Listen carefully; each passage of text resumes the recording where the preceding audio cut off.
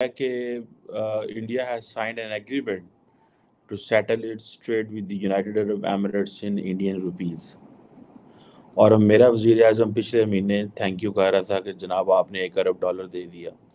और trust me I met an Emirati few weeks ago और वो they have always the Muslim world is very kind with Pakistan for one reason और the other तो वो जो पाकिस्तान का शुक्रिया ना, वो कहते हैं, यार, ये क्या मतलब हमसे शुक्रिया शुक्रिया करते रहते हैं?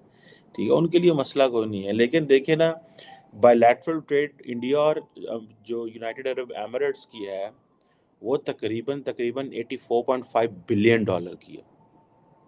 84.5 बिलियन डॉलर की ट्रेड है इंडिया और दुबई की यूएई की। अब इंडिया जो है थर्ड बिगेस्ट ऑयल इंपोर्टर है और कंज्यूमर है। अब आप ये देखें कि उनको तो ये अच्छा लगता है कि आप ट्रेड डॉलर्स की बजाय जो है, वो अपने रुपए में करें। रिसेंटली आपको याद होगा कि इंडियन सेंट्रल बैंक ने हमने इस पर डिस्कस भी किया था कि उन्होंने ये कहा कि हम तकरीबन 19 या 21 ममालिक के साथ जो ट्रेड है, वो डॉलर में नहीं करेंगे। So India being one of the strategic partner of the United States जिसको अमेरिकन कहते हैं कॉम्प्रिहेंसिव ग्लोबल स्ट्रेटेजिक पार्टनरशिप वो ये कहते हैं उनको। और ये इंडियंस क्या कर रहे हैं? They are going for having a trade in the Indian rupee वो कह रहे हैं, हमारे पास जो है डॉलर लेके हम अपनी करेंसी पे प्रेशर पड़ता है। क्यों ना हम अपनी करेंसी को उठाएँ ऊपर? हमें मौका ठीक है जी। अब इंडिया इससे क्या होगा? अब जारी बात है कि ये वो जो डॉलर कन्वर्जन थी, उसका भी नुकसान होगा।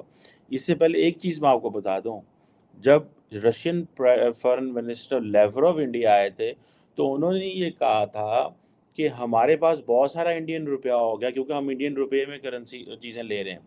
लेकिन हमें ये समझ नहीं आ रही कि हम इस पैसे को लगाएँगे कहाँ पर या इस पैसे को भेजें कहाँ बिकॉज़ वो इंडिया से उस तरह चीज़ें इम्पोर्ट नहीं कर रहे थे। लेकिन उनके पास वो कहते हैं we have a sufficient Indian rupee अब कौन सी थर्ड मार्केट या फोर्थ मार्केट होगी जो ये रुपया लेगी? ठीक है? लेकिन आप ये देखें कि मोदी साहब ने फ्रांस से वापस आते आते देखें, ये होती है when nation stock something serious when वो हम कहते हैं ना लेट्स टॉक बिज़नेस हम अक्सर ये मुहावरा सुनते हैं, कहते हैं, आओ यार, कारोबारी गाल करो है कि तुम खचा मारन रहे हो इधर उधर करन रहे let's talk business so the business is कि भाई मैं गया हुआ था फ्रांस रास्ते में तो हम हम, हमने वैसे पाकिस्तान वालों ने, और इंडिया वालों ने तो इंडिया का शायद आई थिंक बेहतर होगा।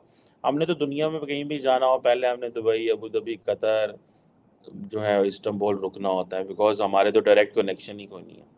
हमें तो दुनिया डायरेक्ट रिसीव ही नहीं करती। ना पाकिस्तान से डायरेक्ट फ़्लाइट यूरोप की जाती है। एक मेरा ख्याल है पी की फ़्लाइट कनाडा जाती है, मुझे किसी ने बताया अगले दिन। हमारे जहाज़ों को कोई रिसीव ही नहीं करता और एमरेट्स कतर या बाकी जो है, वो पाकिस्तान से कोई इतने कस्टमर ही नहीं होते कि वो डायरेक्ट फ्रांस लैंड करें या डायरेक्ट शायद अमेरिका लैंड करें या लंदन लैंड करें। रस्ते सामने तो खिलौना होता है, साढ़ा तो स्टॉप स्टॉप हमें तो पता है, जो है ना इंडियंस का इंडियंस भी सारे खड़े होते होंगे। लेकिन बहुत सारी सारी बात है they have lot of customers तो वो डायरेक्ट जाते होंगे। लेकिन हाँ ये ज़रूर होगा इंडिया का कि उनके डिफरेंट शहरों से कस्टमर आते हैं लाइक दिल्ली से, पुणे से, मुंबई इधर उधर से। तो उनको शायद इसलिए रुकना पड़ता है बिकॉज़ आप इंडिया इन अरब एयरपोर्ट्स पे जाएँ तो सारे आपको इंडियंस या पाकिस्तानी या देसी काफ़ी ज़्यादा नज़र आते हैं। बट एनी हाउ अब ये होता है ना कि मोदी साहब वापसी पर रुके और ना यार है मैं थोड़ा जा जो, ये जो ठीक है जी ये जो cross border transactions and payments है ये एक एग्रीमेंट से साइन कर दूँ। उसका नाम है I think seamless cross border transactions and payments and foster greater economic cooperation ठीक है जी? मैंने आपको पहले कहा biggest oil third biggest oil importer है कंज्यूमर है यूएई के साथ 84 बिलियन डॉलर 85 बिलियन डॉलर की ट्रेड है। वो कह रहे थे 2030 में इसको 100 अरब डॉलर पे लेके जाना है। 2030 तो बहुत दूर है भाई, ये तो ऊपर क्रॉस कर जाना। ठीक है जी। और और अब मज़े की बात यह है कि जो रिज़र्व बैंक ऑफ़ इंडिया उसने ये कहा है कि जो इंडिया के दो सेंट्रल बैंक हैं वो इस बात पे भी एग्री कर गए हैं कि वो इंडिया का वो लिंक करेंगे इंडियाज़ यूनिफाइड पेमेंट इंटरफेस और जो यूएई का है instant payment platform so India's unified payment interface and UAE's instant payment platform जो है, इनको आपस में लिंक करेंगे। दुबई से दुबई से इंडिया पैसे भेजना ऐसे ही होगा जैसे बस दिल्ली तो मुंबई पैसे भेज रहे हो, जिस तरह रिसेंटली ये भी इंडिया ने सिंगापुर के साथ किया है। सो अब आप इमेजिन कर लें ठीक है जी, कि एक दिन के लिए वो शेख मोहम्मद बिन जैद से मिले हैं। लेकिन उससे पीछे उन्होंने पूरी, जिसे कहते हैं ना, अपनी इस्टेब्लिशमेंट नो, ध्यान लाया ऐ करो, ओ करो, ये करो, वो करो। अब ये चीज़ें तो पता चलती है ना कि क्या है। ठीक है, अब इंडिया यूए की भी कॉम्प्रीहेंसिव स्ट्रेटेजिक पार्टनरशिप है।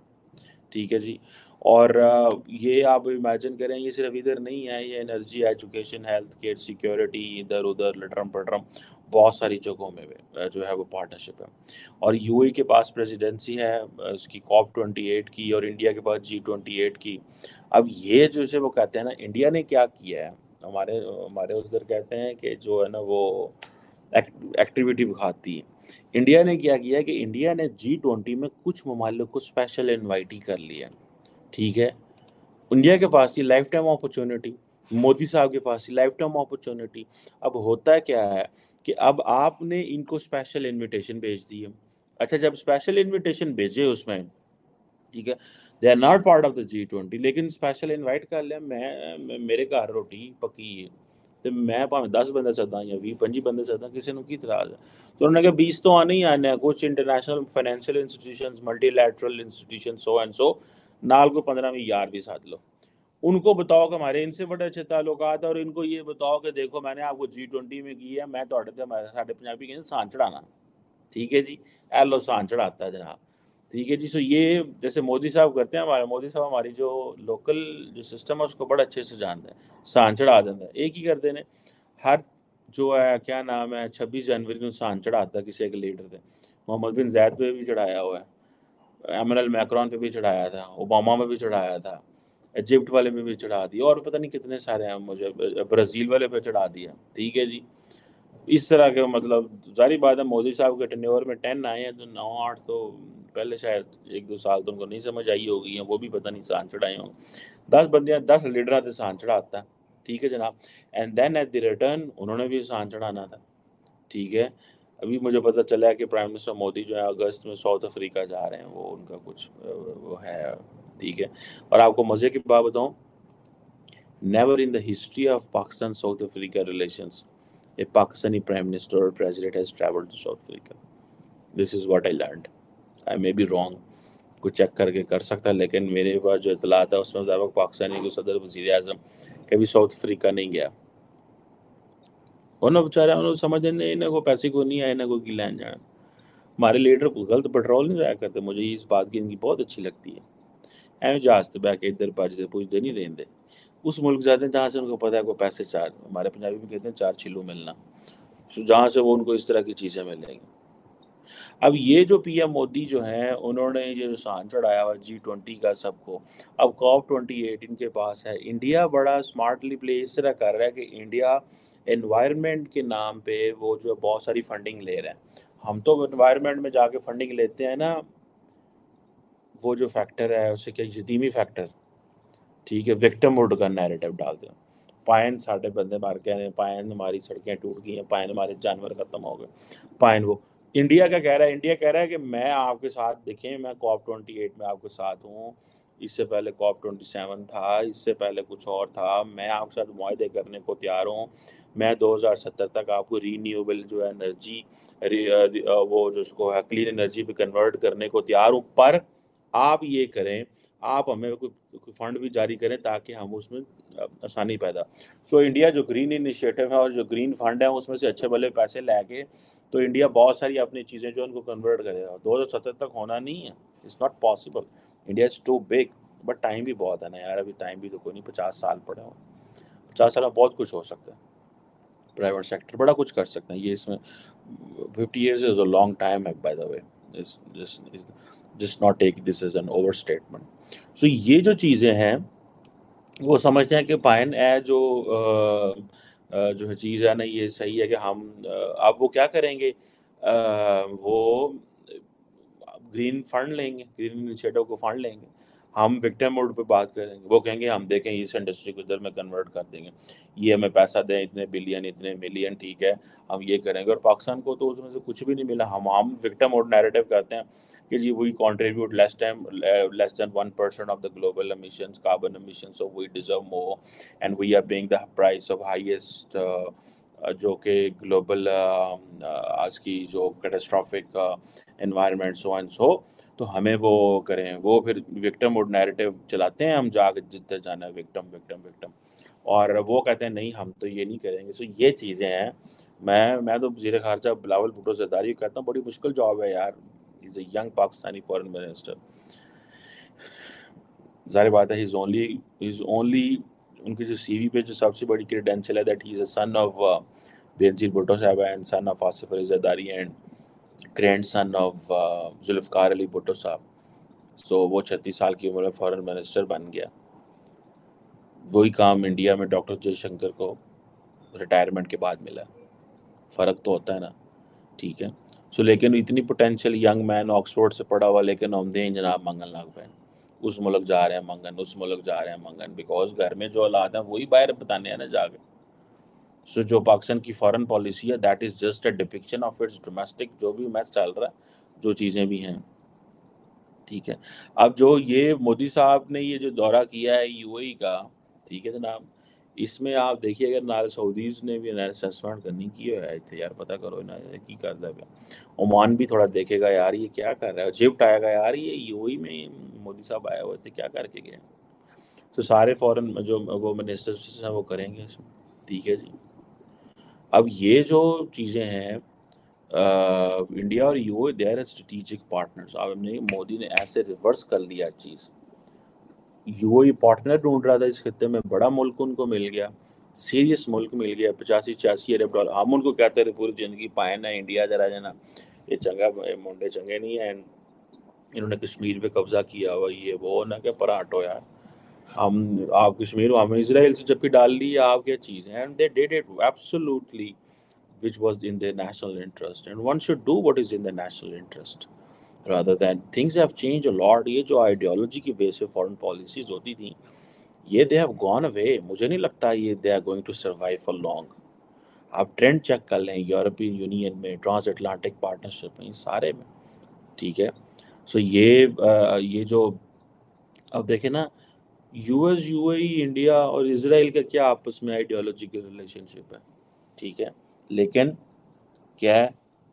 कि फ्यूचर बिजनेसेस ठीक है जी? ये चीज़ें हैं।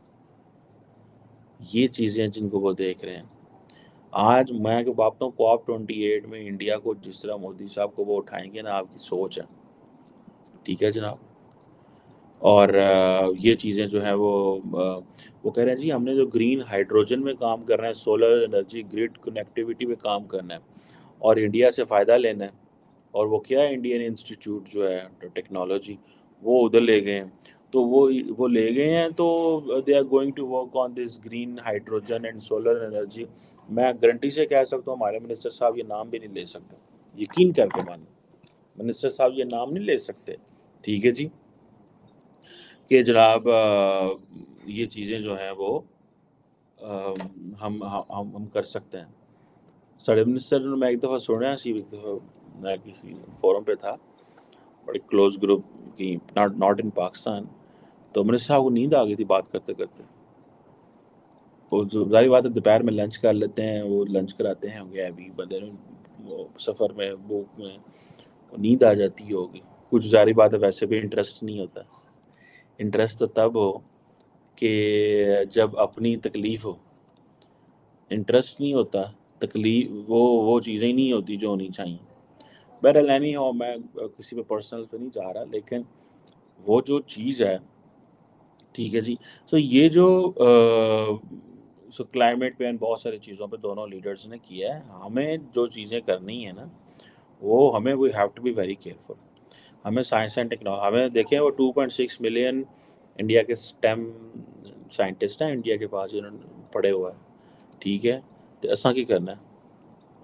अभी तो मैंने आपको ये जो मोदी साहब ने वो जो उधर उधर फ्रांस में किए हैं, ठीक है मैक्रॉन साहब पाकिस्तान का आपको पता है ना, मैंने बताया था कि पाकिस्तान का फॉरेन सेक्रेटरी लेवल से ज़्यादा डायलॉग नहीं है फ्रांस के साथ। France is a beautiful country by the way full of beauty rich in history मुझे काफ़ी दफ़ा जाने का इतफाक़ हुआ है फ्रांस। खूबसूरत जैसा कहते हैं ना, मुल्कों में से मुल्क है इसमें कोई शक नहीं। सो ये जिसे आप कह लें कि this things are very necessary to see कि भाई हमने क्या करना है हमारी क्या प्रायोरिटीज़ हैं।